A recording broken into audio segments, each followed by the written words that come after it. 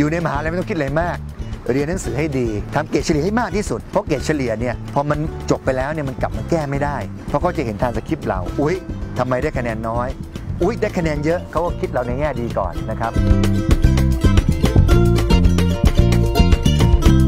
แล้วจากนั้นสำคัญที่สุดก็คือทักษะในการทำงานร่วมกับผู้อื่น ตรงนี้น้องๆที่อยู่ในมหาวิทยาลัยที่พี่แนะนำนะครับ เรียน 70%ทำกิจกรรม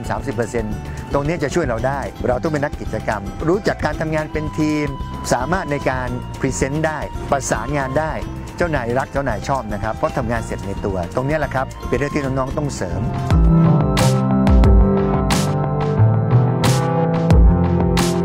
พี่จบมาได้เกรดเฉลี่ย 3.01 ได้คะแนน